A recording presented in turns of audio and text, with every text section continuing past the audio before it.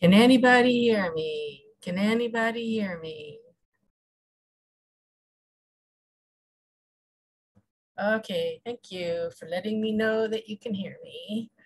Today is a little bit different because I am in Mozambique uh, working on a project and my internet is spotty. So hopefully it will uh, get us through. And of course, uh, I'm on a different time zone. It is uh, 10 o'clock here. So, or yeah, 10 o'clock, I think. My computer says 11, but it's only 10 o'clock. So I am going to get started because we are on the top of the hour and it's a long presentation. So uh, let's see, Oops, come on.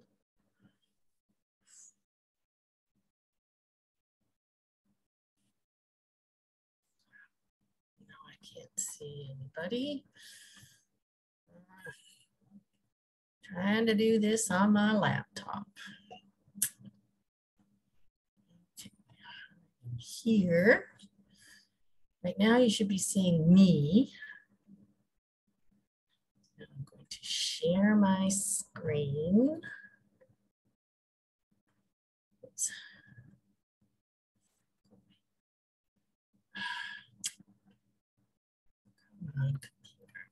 Function.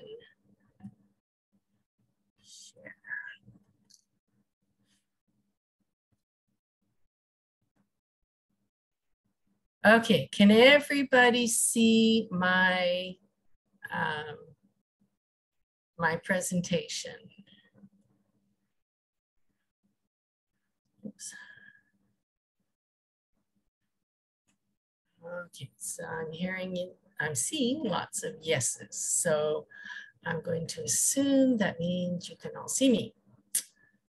Okay, uh, with this setup here, I cannot um, follow the chat or the Q&A very well. Um, so we'll leave all the questions to the end. Uh, my name's Dr. Jacquie Jacob. I work at the University of Kentucky, although as I said at the beginning, I am currently in Mozambique.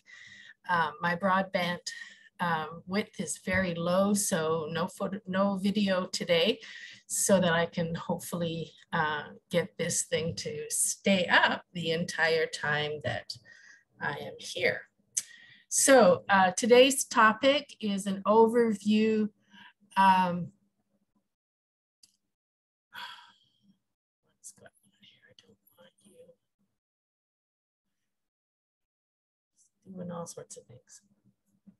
Okay, so uh, today's topic is an overview of uh, poultry anatomy.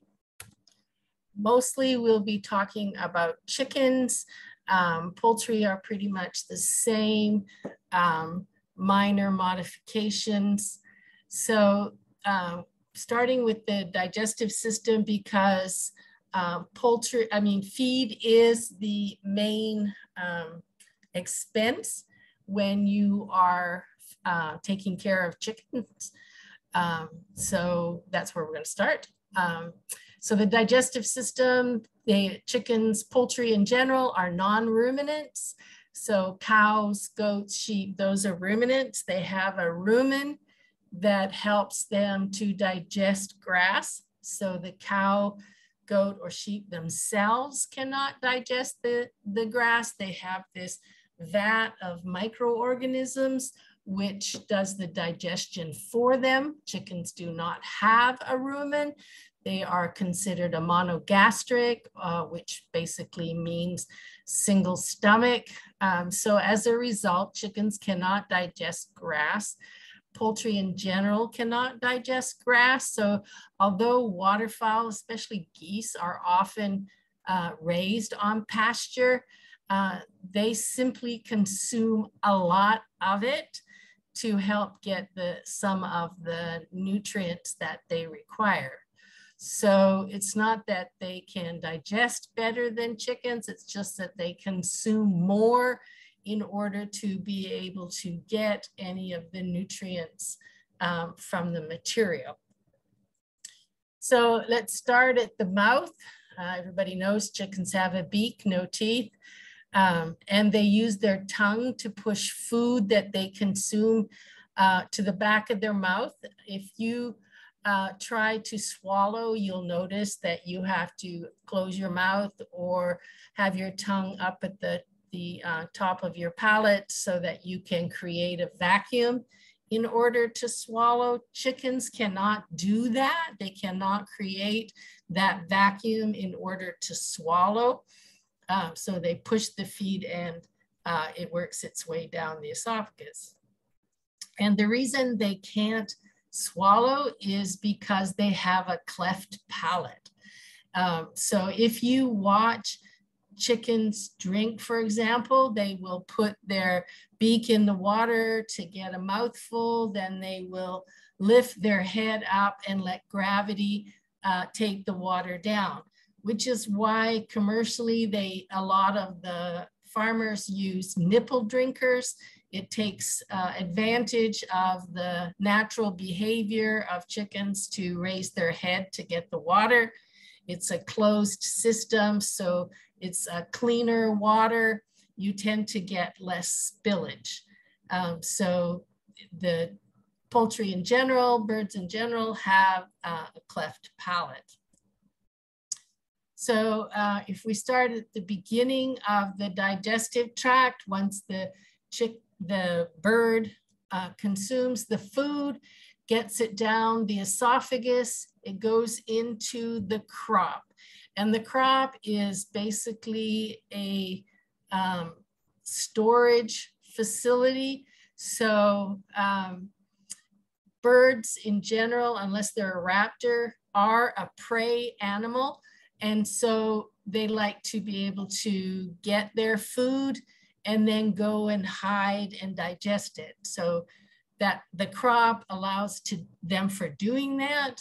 Um, if you look at the different poultry species, wild versus some of the domestic ones, you'll see minor variations in the crop.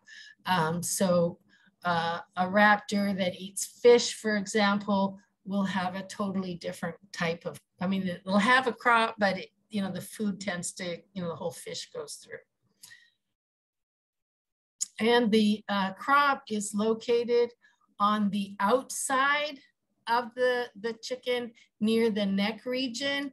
Um, it does secrete some mucus, which helps lubricate the, the dry feed. It also mixes feed with water that the birds drink. Um, water is extremely important for food consumption. Chickens typically will not eat if they can't drink. So um, they need to have access to water in order to be able to eat. So if you see a drop in feed consumption, uh, a lot of people think, oh my God, I must have a disease problem because a drop in feed consumption is one of the first signs of uh, a problem, but it could just be the water lines are broken and they're not getting any water. So um, always make sure, you know, if you have a drop in feed consumption, that you first check and make sure all the equipment is working. The fact that the crop is on the outside of the body cavity makes it easier to verify feed intake of young chicks.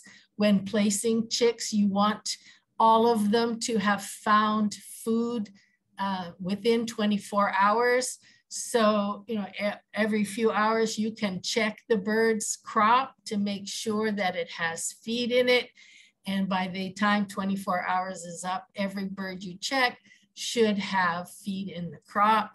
So if you see the one on the left, it has feed in the crop and the one on the right does not. So uh, it may be that they never learned to drink so that they don't know how to uh, eat. So um, having the body cavity, the crop outside of the body helps you to be able to do that. Uh, there are some uh, problems that can occur with the crop though. Um, sometimes the exit for the crop will get blocked and you get what's in called an impacted crop. Uh, it can get infected um, with the fungus and you or yeast and you get a sour crop. Um, if you catch it early enough, you can usually uh, get the material out, lubricate a little bit with vegetable oil, uh, and basically hope for the best. But if it has been really stretched, uh, it may be non-recoverable. It won't shrink back down again in most cases. Um, and you know, once you get a sour crop, it, it can be very hard to treat. Um, so you usually see that when um, they've been without water for a while. Uh, the water comes back on. They they um, eat too much feed, and then the feed gets uh, blocked. Uh, you can also see it when they are on pasture with long uh, foliage. Uh, they prefer the short one. It's easier to get some nutrients out of, but the really long stuff can uh, get um, bundled up in the crop and cause uh, it, a blockage. So those are the two incidences when you typically see uh, a problem with the crop. Uh, if we go on to the actual digestion part from the crop, get the lower esophagus, it goes into the proventriculus. Um, it's also known as the true stomach. This is where they secrete hydrochloric acid, much like our stomach does. They also secrete pepsin, which is a proteolytic enzyme. That means it digests uh, protein. And so those are secreted in the uh, proventriculus. Um, so that's where digestion starts. And then uh, it goes on to the gizzard, which is called the ventriculus as well. And so the proventriculus just means it comes before the ventriculus or the gizzard. The gizzard is made up of um, two opposing pairs of smooth muscles that uh, grind up the feed. If they are just feeding a mash or, or uh, pellets or crumbles, you don't need to provide what's called grit or small uh, stones or pebbles. Um, if you are feeding whole grains or they're on pasture, you have to provide grit or stones if they're not getting it, enough of it uh, where they are. Um, those stay in the gizzard and help with the grinding of the material. They'll eventually wear down and pass through. Uh, if you have it on the side, they will uh, eat it as required. So basically the gizzard acts as the bird's teeth because they do not have teeth. Stop on me now. So if we go on then to the, uh, where most of the digestive enzymes and some of the digestion, uh, more digestion takes place. Uh, the small intestine is where most of the digestion takes place. And the first part of it is called the duodenum. Um, this pronunciation is very uh, regional. So duodenum, duodenum, uh, you know, are various versions of the same thing. As I said, it's the first section of the small intestine. It's a loop and the pancreas is in the center of the loop and the pancreas secretes pancreatic juices, which are extremely important in the digestion process. Uh, next is the liver. Liver produces bile. Bile is stored in the gallbladder. This particular gallbladder is very small because it has been eating and therefore emptying quite frequency, uh, frequently. Uh, so the digestive tract was taken from a chicken that was eating. Um, and there are bile ducts that go from the gallbladder into the duodenum. And just as an aside, the spleen is in the same location. The spleen is not involved in digestion. It's involved in immunology. It's a lymphoid organism. It functions as a blood uh, filtering organ. It's also where uh, most of the antibody production starts, and it is the main organ for the proliferation of both red and white blood cells. Okay, so the duodenum, as I said, is the site of considerable digestion, some absorption. As I said, it receives the digestive juices from the pancreas via the pancreatic ducts, and it receives bile from the liver via the gallbladder. So the pancreas said pancreatic juices includes proteolytic enzymes for protein digestion, amylase uh, for starch digestion, and lipase for fat, fat digestion. And of course, the pancreas is very important in insulin production for trying to maintain uh, blood sugar levels. Also produces glucagon. The two hormones work together to make sure that the blood uh, glucose levels are uh, where they're supposed to be. So the bile salts acts as a detergent. It emulsifies the fat, makes it easier for the enzymes, the lipases, to uh, act on the fat molecules and digest them. The pancreatic, uh, the bile also, along with the pancreatic uh, juices, neutralizes the pH of the digesta, of all that material in there. Um, because the proventriculus has um, hydrochloric acid, it has a very low pH, but most of the enzymes that are in the small intestine work at a neutral pH. So uh, it needs something to uh, buffer that pH. So most of the chemical breakdown is occurring in the duodenum and the first part of the small intestine. Uh, and then the rest of it is where you get the absorption of it. So both the duodenum, which is the first part of the small intestine, and the jejunum and ileum um, is produces many different enzymes.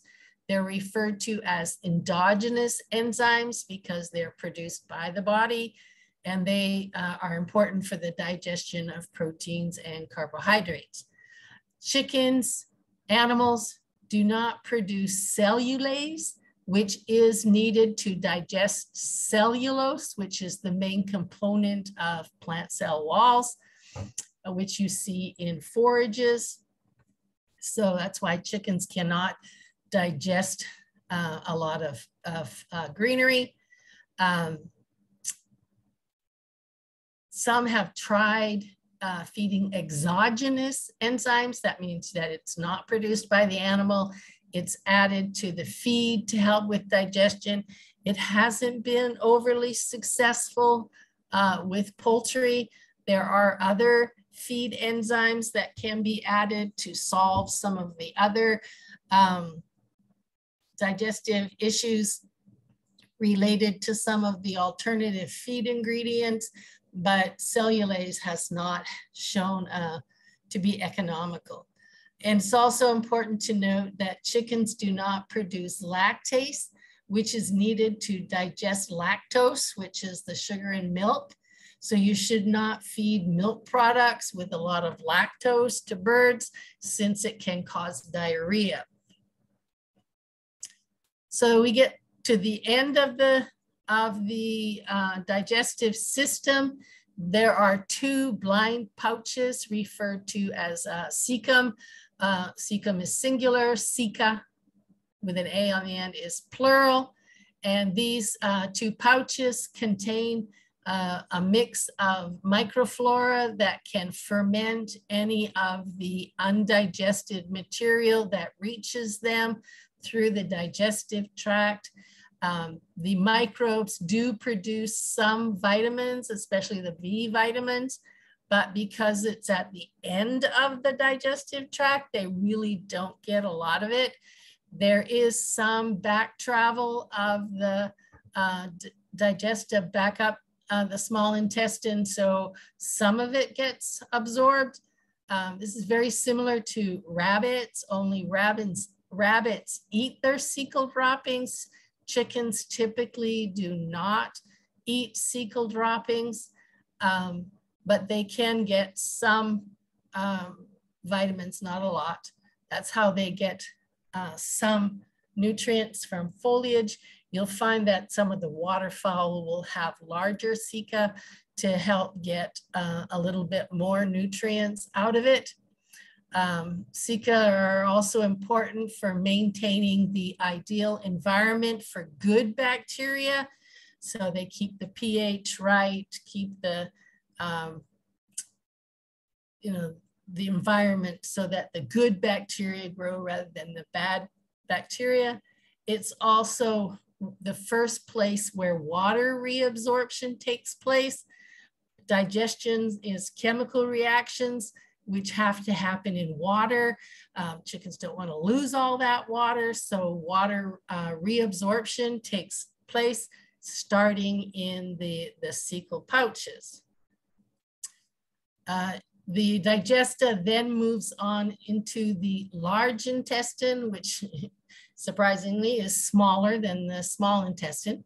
And additional absorption of water takes place there. And then everything ends up at the cloaca. The cloaca is where the digestive tract, the reproductive tract, and the excretory tract all end up.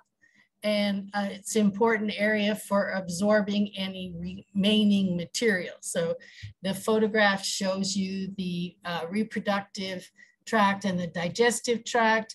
The excretory uh, tract is a little bit harder to uh, removes, but it empties in there as well. And this, of course, is the female reproductive tract. The male reproductive tract would end there as well. Whoops, what happened? What's going on? Let's, let's try again. Okay, so everything then comes out the vent. And um, this is, you know, what fecal material looks like. And the white stuff that is on it is the uric acid. And once a day, the cecal droppings will be eliminated as well. I probably should have put a picture in. They are usually darker brown and a little bit uh, runnier, maybe a little gaseous. So the next most important system, um, some would say probably the most important is the reproductive system because eggs are first and foremost a means of reproduction. While we consider them food um, to the bird, they are a means of reproduction. It's important to understand the difference between precocial birds and altricial birds. Precocial birds are well developed when they hatch and able to get up and walk around on their own very quickly. This includes most of our domestic species of birds, the chickens, the turkeys, the ducks, the geese, ratites, all that. The exception, exception is pigeons. Pigeons are altricial birds.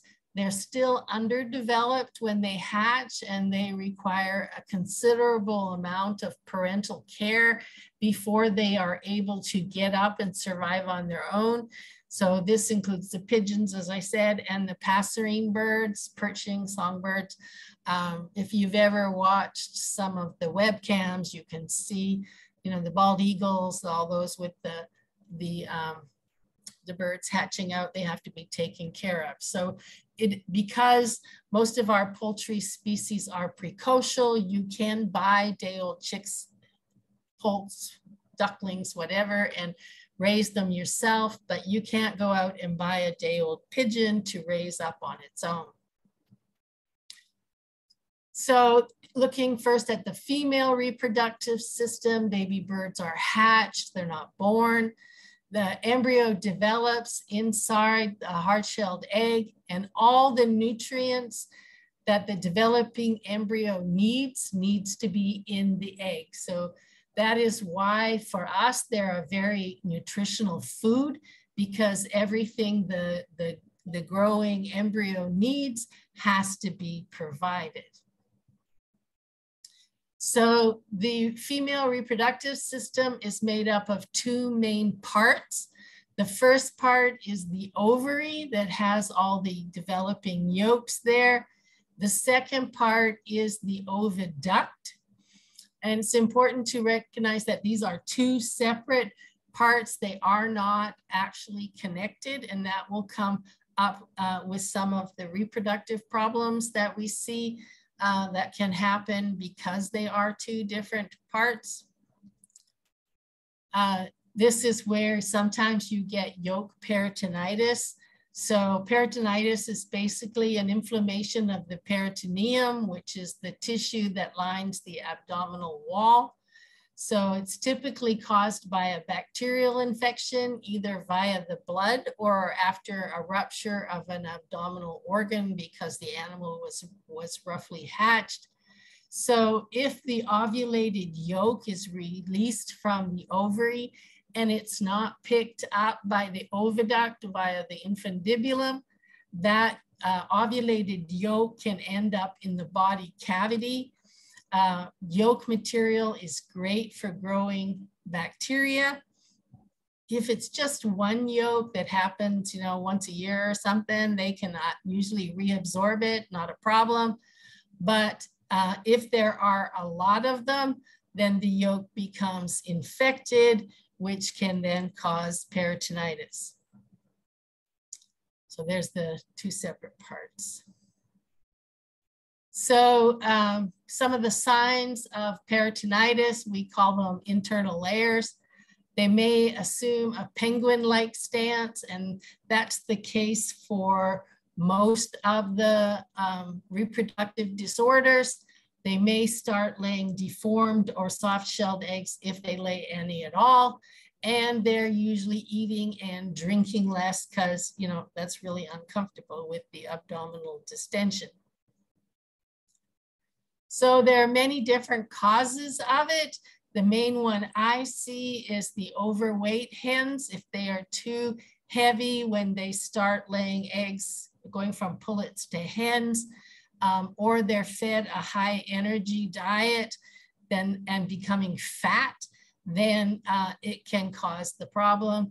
It can also be genetic. Stress can cause it if they are having some sort of a situation causing their immune system to not function properly, if they have a different kind of infection already there, uh, if they have too many intestinal parasites, and then you can get ovarian tumors or the oviduct can be uh, blocked.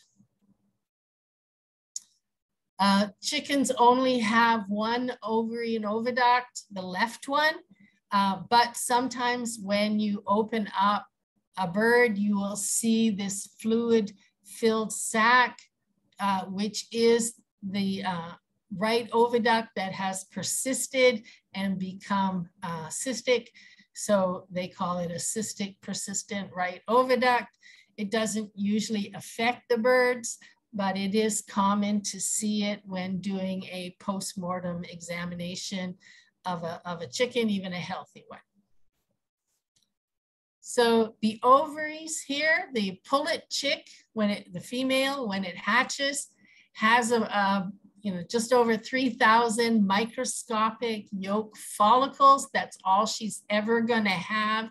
She does not produce more. It's not like sperm where they're produced uh, regularly. What she's born with is what she has.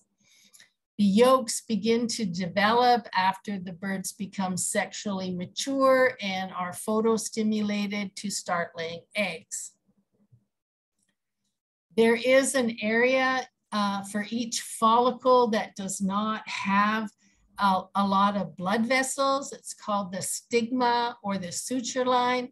And this is typically where the ovulation takes place.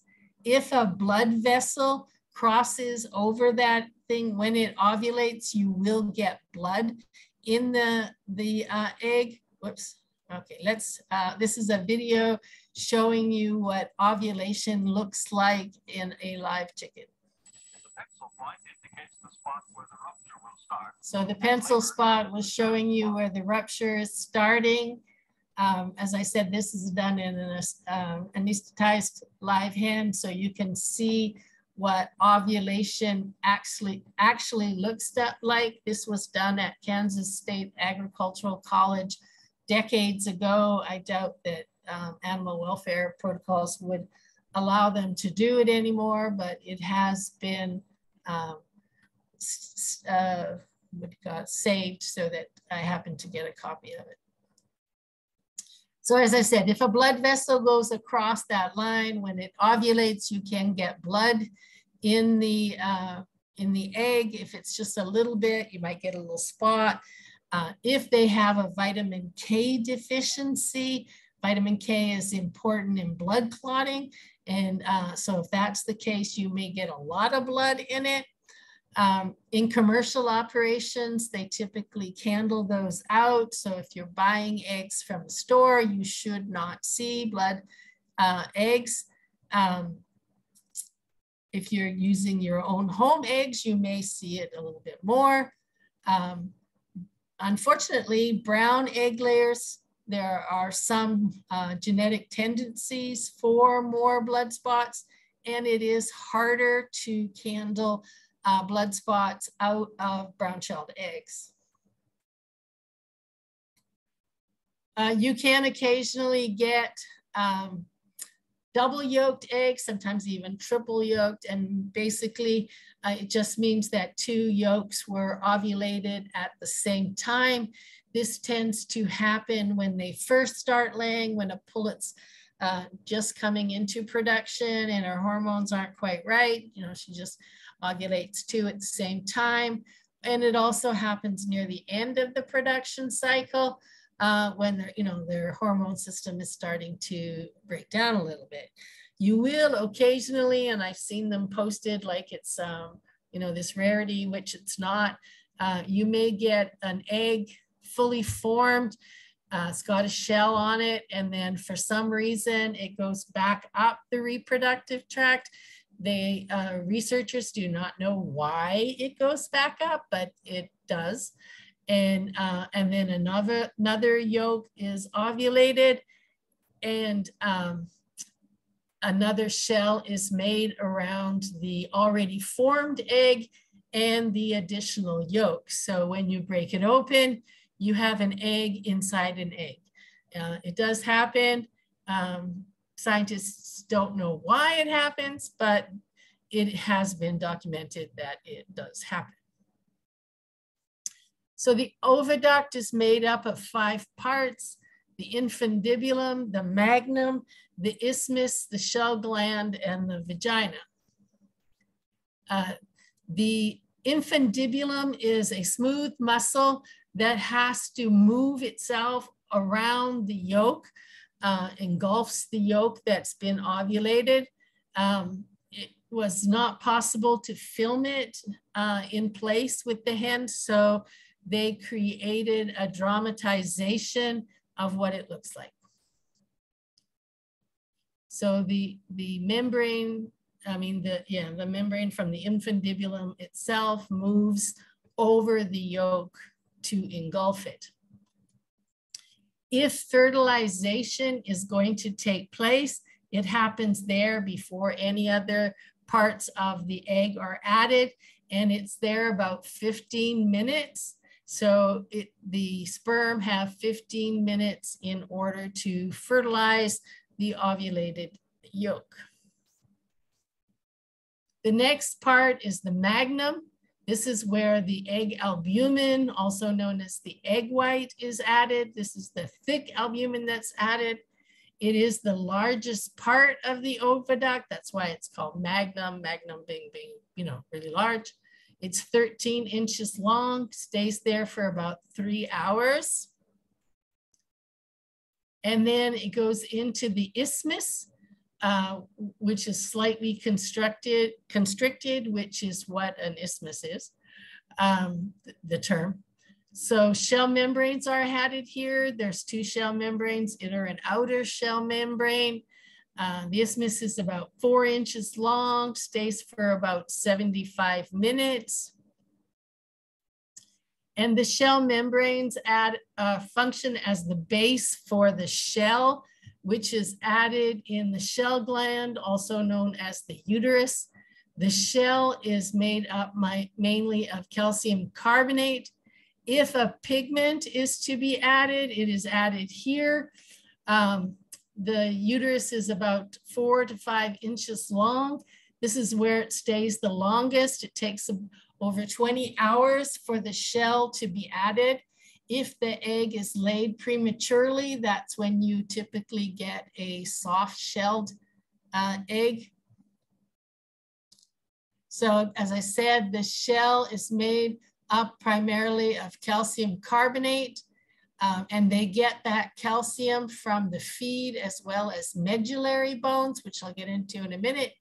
And the shell also has many pores that uh, allow the passage of gases, um, which includes water vapor, carbon dioxide, and oxygen.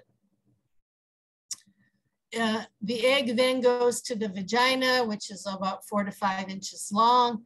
Um, it, the vagina itself does not really take part in egg formation. It's a muscle and the muscle helps to push the egg out of the hen's body.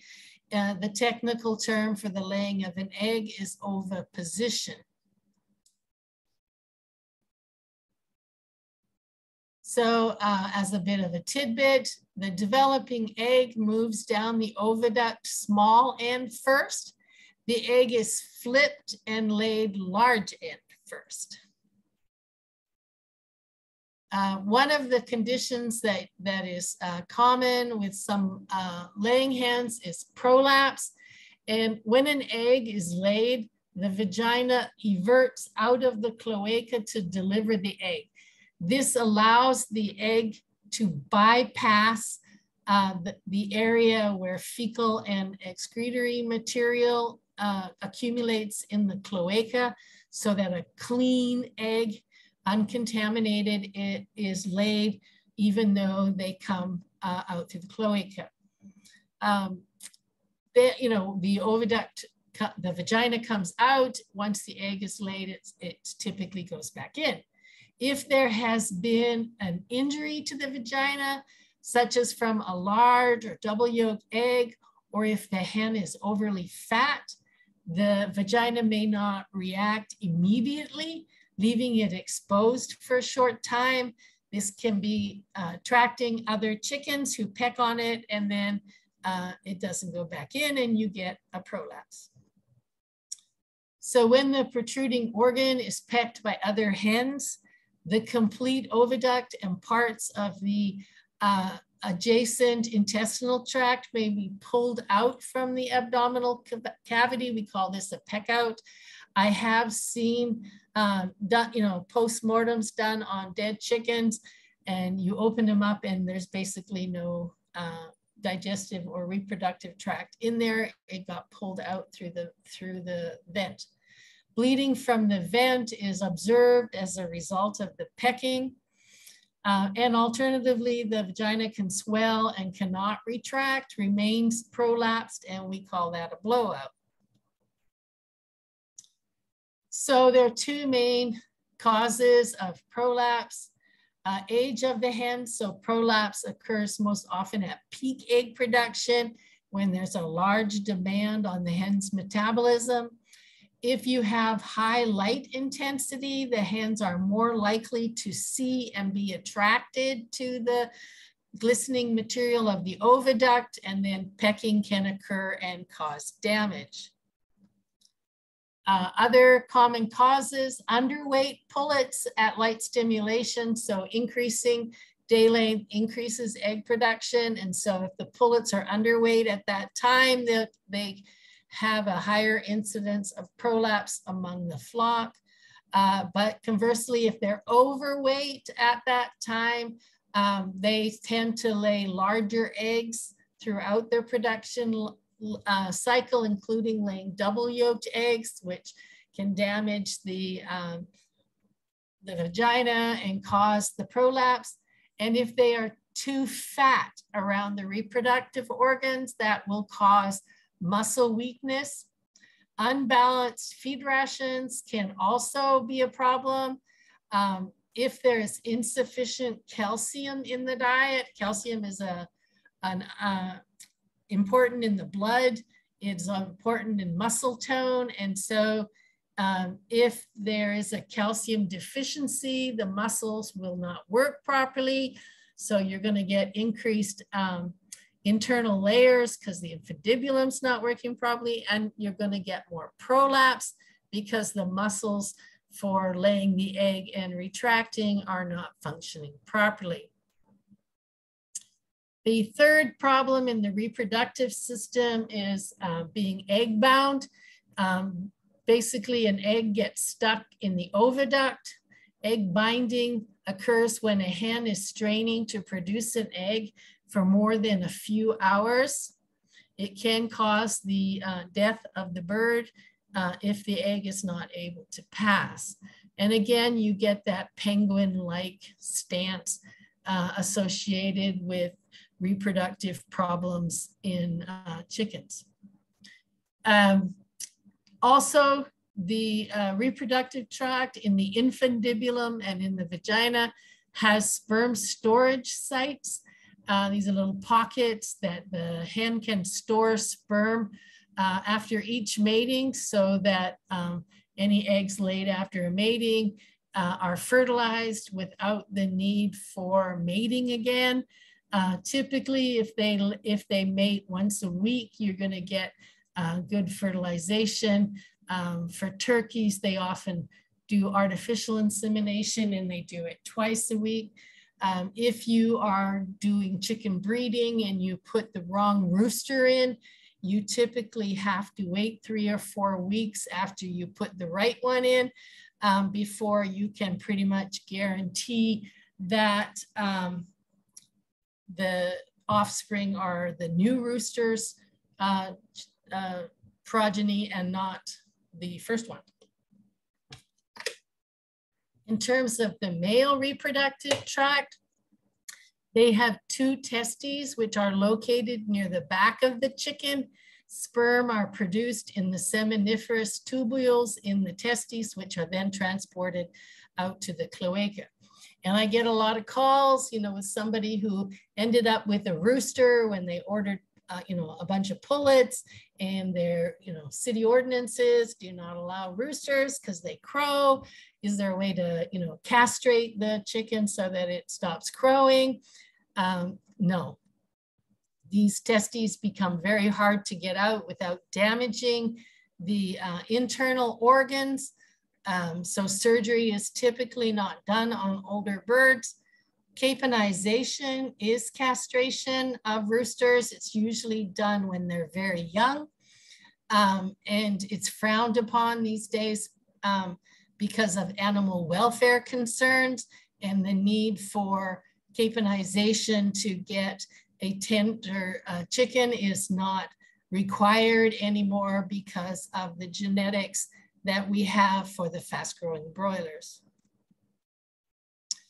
The ductus deferens moves the sperm from the testes to the outside. This is similar to the vas deferens in mammals, but it's called a ductus deferens in birds because it's not as developed. Mating requires the rooster to mount the hen. There is no actual penetration. Chick roosters do not have a penis. Um, basically, they uh, have to uh, touch their cloaca to the cloaca of the hen. They call it a cloacal kiss. And uh, the hen hat everts out her vagina and the sperm is transferred to the hen who then retracts the vagina and takes the sperm in with her.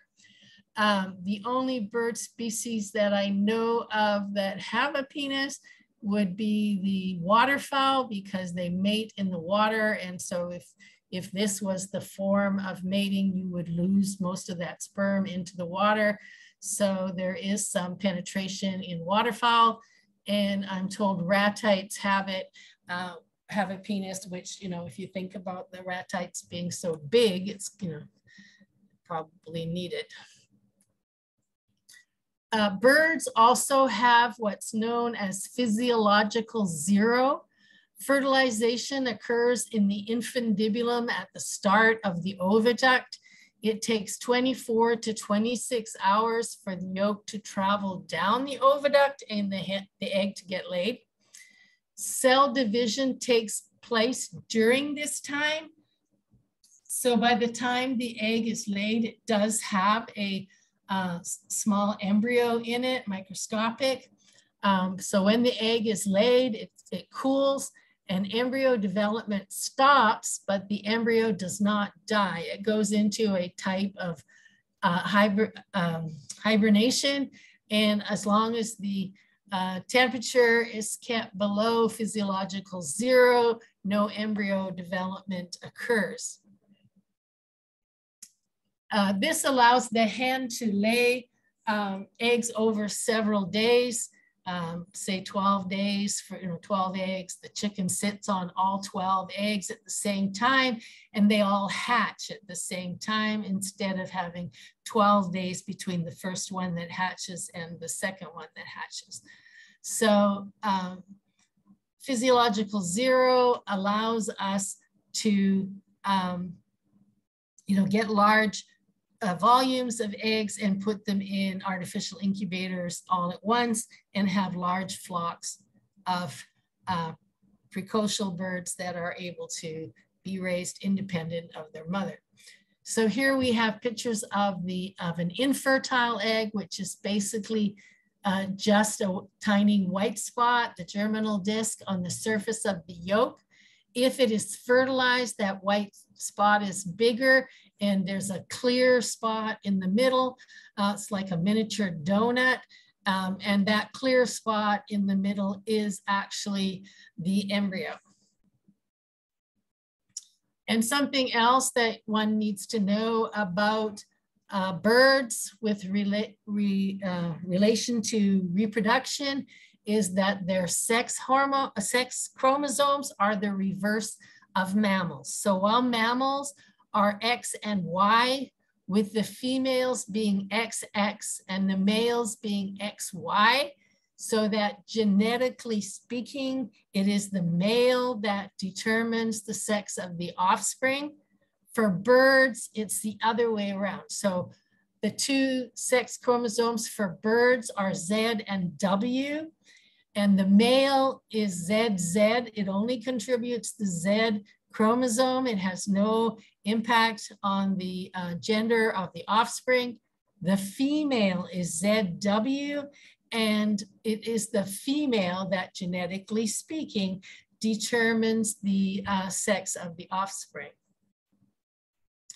Broodiness, I do get calls about broodiness. Um, broodiness is controlled by hormones and there are breed differences in the probability of a hen going broody. Some um, breeds, the hens never go broody. Some, they have a high propensity to go broody. You cannot make a hen go broody.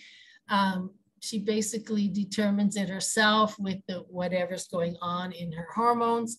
Uh, there are ways of breaking a hen that's gone broody. You basically put it in a cage with no ability to produce a nest, but make sure she has food and water, leave it where she can see the other hens. And usually, you know, by the end of a week, she uh, has stopped her desire to, to nest because once they're nesting, they're not laying eggs anymore. Oh, this one got out of place, didn't it? Egg bound, some of the common causes, hypocalcemia, calcium tetany is the technical term, hens with a low blood calcium level. So this can happen with poor quality or unbalanced diet. The hens uh, can be laying excessively large eggs. So that's, you know, from overweight or being too large at sexual maturity uh, starting egg production when they're too small, so they're prematurely starting. Uh, as they get older, there is uh, more of a tendency to it. If they've had trauma, that can do it. Very obese chickens have a tendency to get egg bound and mycotoxins produced by fungus in feed will also uh, cause more hens to go um, get egg bound. So uh, next, because we're running out of time, respiratory system, some of the things that are unique for birds. The respiratory system of birds is important for air exchange as well as body temperature control. If chickens are panting, they are too hot. Chickens cannot sweat. So birds lose heat through radiation, conduction, convection, and evaporation. So, you know, as the blood vessels get closer to the skin surface, you get an increase in heat loss. And as they get farther away, you get a decrease in heat loss. Radiation is when the bird transfers heat from the skin through the air through another to another object, which could be other birds, or it could be the ground or the walls. High flock densities become a challenge during the hot summer months as they're trying to dissipate excess heat.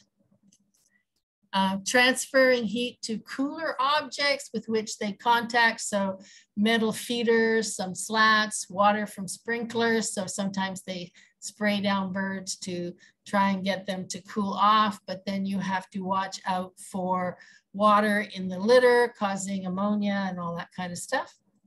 And so chickens pant in order to lose heat. They lose water from the respiratory tract.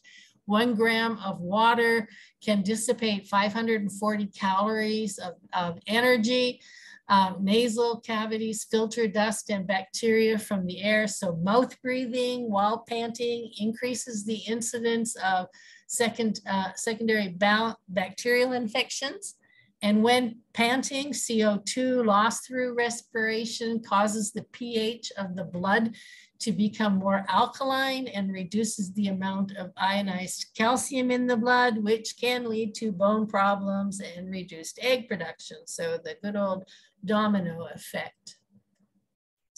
So the respiratory system of birds is made up of lungs, pneumatic bones, and air sacs.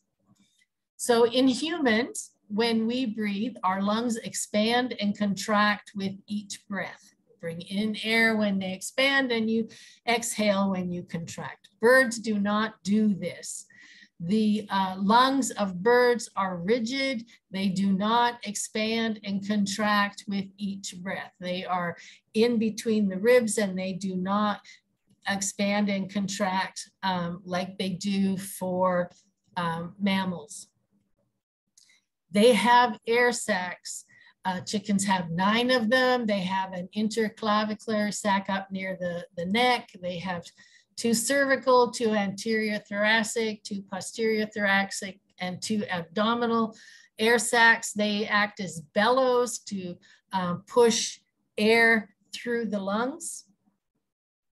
Um, you have a hard time seeing air sacs unless they're infected and then they they are no longer transparent. They become cloudy when air sacs uh, are infected. So this gives you an overview of how it takes two breaths to get air through um, the uh, lungs of a chicken. As I said, they are rigid, do not expand and contract. Air passes through the lungs in a single direction and air movement is facilitated through the action of the air sac. So you can see in diagram A, the rear air sacs, abdominal thoracic and, and uh, the cranial thoracic expand and that draws air in from um, the outside through the trachea. Um, and air goes through the, the lungs into the interclavicular sac from the previous breath. And then in B, the uh, breath, the uh, three back air sacs contract and push air through the, um, the lungs and um, air comes out of the interclavicular sac and out the trachea. So you can see um, it's the bellows that are either pulling the air in like the interclavicular or pushing it through. So um, air sacs make the, the lungs function and the air sacs uh, by the function of the ribs, uh, can, can get the air movement through. So if you hold a bird too tightly so that its ribs cannot move, uh, it will actually suffocate. And the uh, avian respiratory system is connected to the skeletal system in that they have what's known as pneumatic bones. The lungs, uh, as I said, are rigid, do not expand and contract. Um, and the bones can go into the pneumatic bones, makes them lighter, easier to fly, easier to for flight. So pneumatic bones are hollow, they're less dense than regular bones. And as I said, they are connected to the respiratory system. Uh, some pneumatic bones, if you break it, uh, they will actually have respiratory distress um, because of the broken bone. The skeletal system is similar to ours. There are some modifications. It's compact, lightweight, and strong.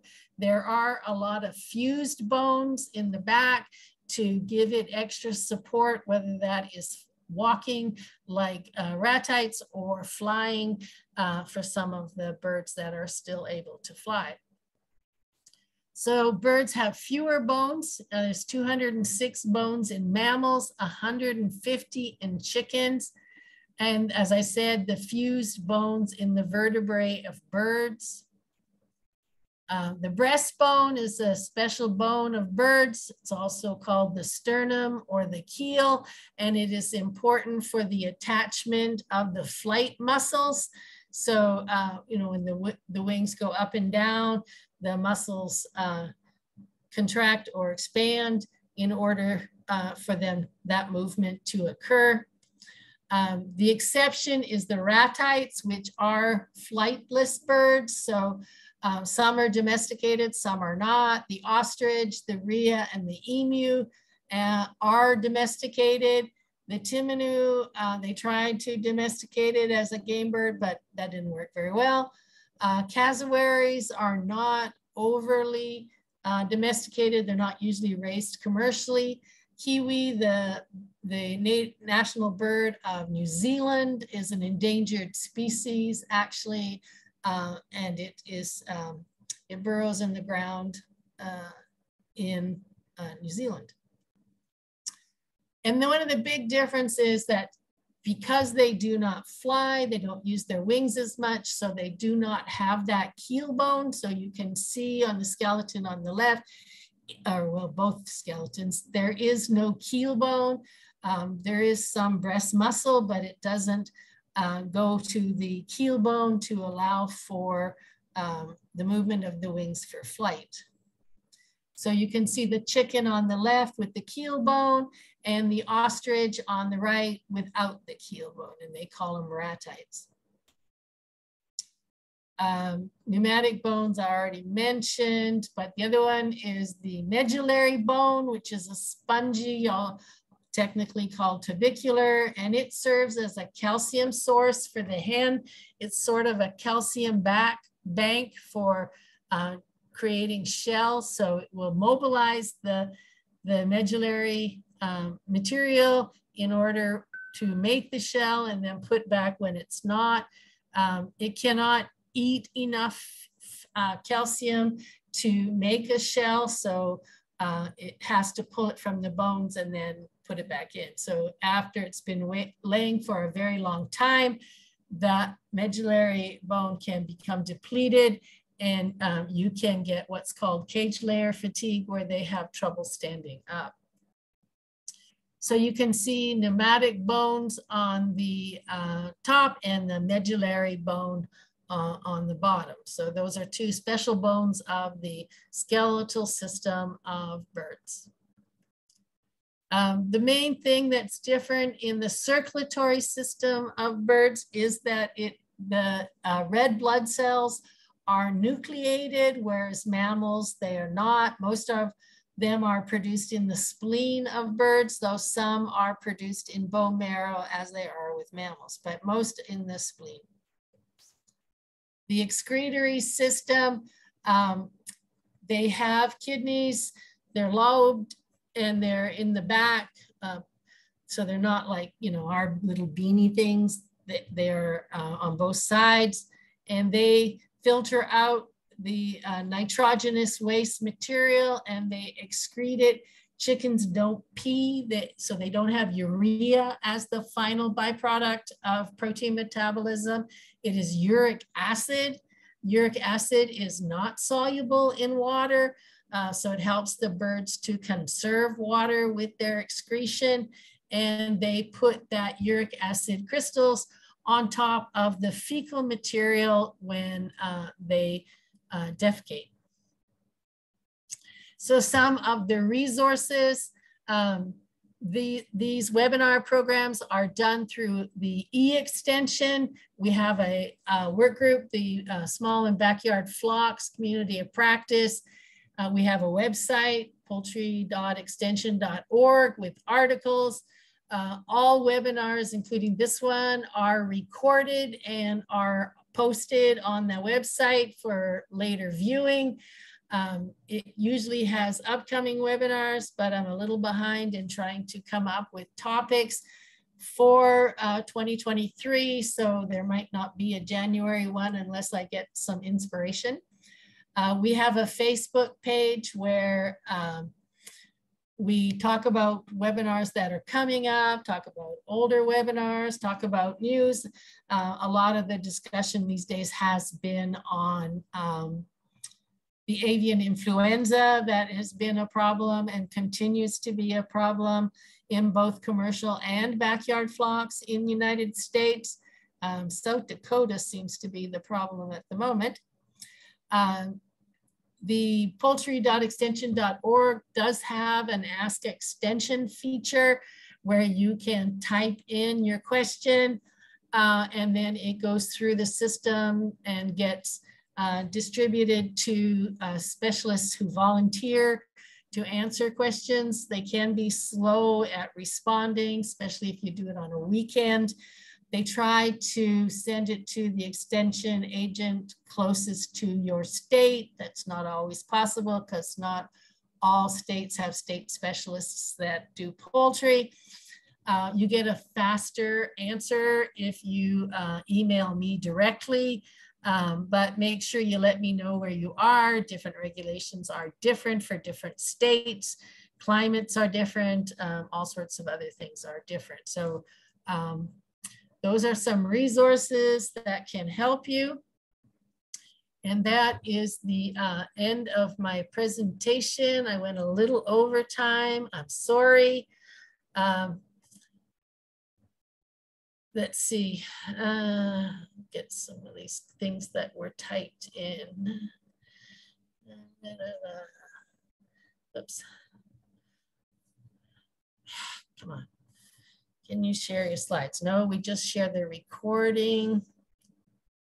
Um, I think I missed it. At what temperature uh, do embryos start to divide, mature? Uh, embryos start in the, right in as soon as they are fertilized um, and the body temperature of a chicken is 106. Incubators are usually set at 99.5, but if you go above 75, you're gonna get um, some embryo development, but it'll be uh, poor development and they'll probably die um, if it's, you know, suboptimal temperatures. Um, I think, uh, Jacquie, I think you could take any, oops, come on, just think.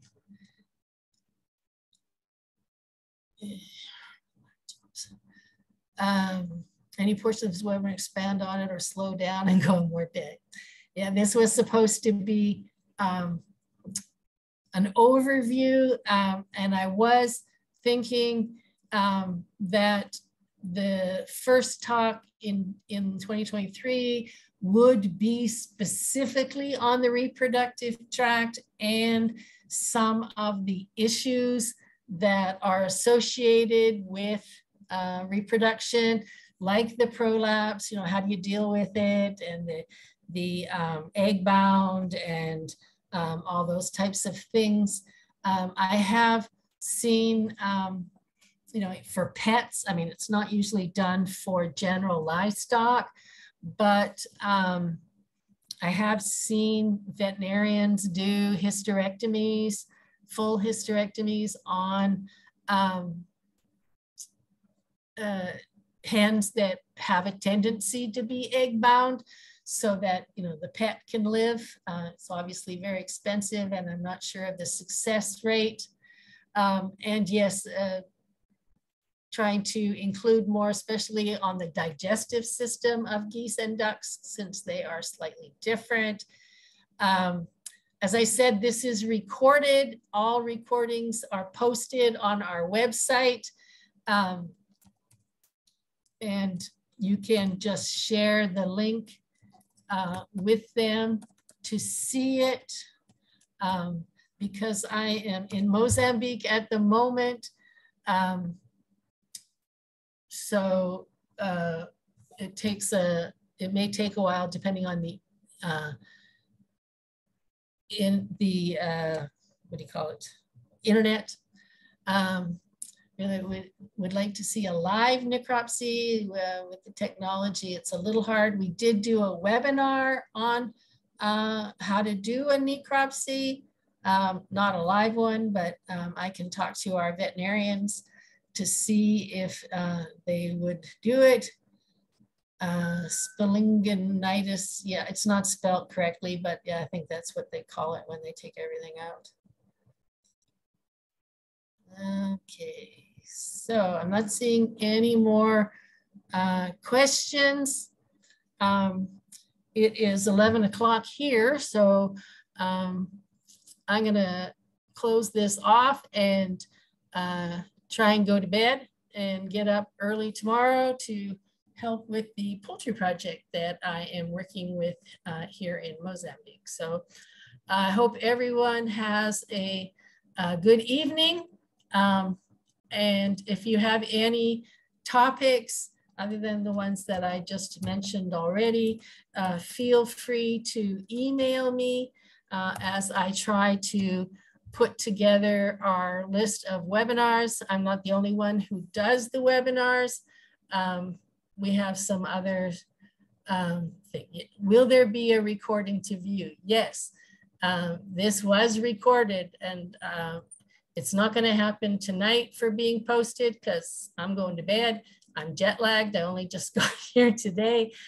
Um, it will probably get posted sometime tomorrow. I usually put it on um, the Facebook page when it's ready to go. It's a YouTube channel that we use. Um, if you subscribe to the YouTube channel, um, then you can um, see all the past ones and you get first notification when they um, become available. So, um, so yes, it is recorded. Webinar, the recording will be put up um, today, uh, tomorrow or the next day, um, depending on my availability with the project I'm working on. So everybody have a good evening.